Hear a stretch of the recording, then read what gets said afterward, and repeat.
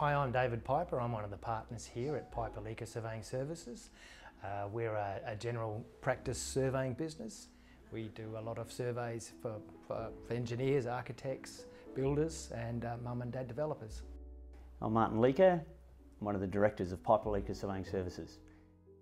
Marty from Pyper Leaker put his hand up at a uh, networking event and offered to do some work experience for a client of Barkuma's. So we started a conversation um, which resulted in us talking through the sort of jobs and needs that they may have in their office that we might be able to fill with one of our clients. When my business partner Martin Leaker um, came to me and told me that um, we were uh, getting an employee, uh, work experience um, employee from Barkuma, um, I thought, well, I don't have the time myself to, to do any training. Uh, so there were concerns uh, uh, that way and were also quite surprised that, that Barkuma had found somebody with, uh, with some sort of qualification within our industry. Um, it's, it's, not, uh, it's not very uh, often you find people, um, even without a disability, to, to come in on, um, on board. But um, James has been fantastic. He's fitted in really well. We've, we've, we've trained him and um, he's, he's doing a great job for us. We worked through some of the issues and barriers that he felt might occur in the workplace for him and also identified some of the types of jobs and tasks that they do there that might fit one of our clients in a nice part-time job.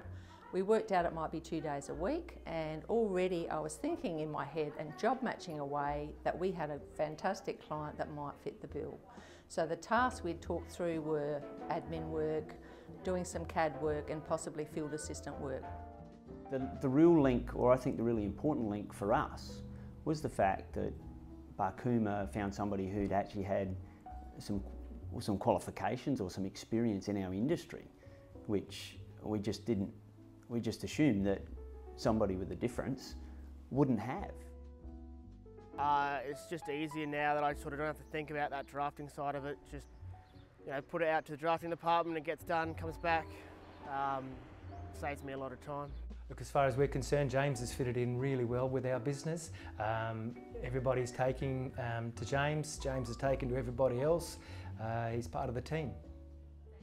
Look, this has been a very good decision for Pyper Leaker. It's great to see somebody like James in the workplace. The feedback we're getting from uh, his family um, and Barkuma makes us feel um, you know, rather special that we've been able to give him a, a role uh, and, and, and look, he's more than, more than capable of doing the job.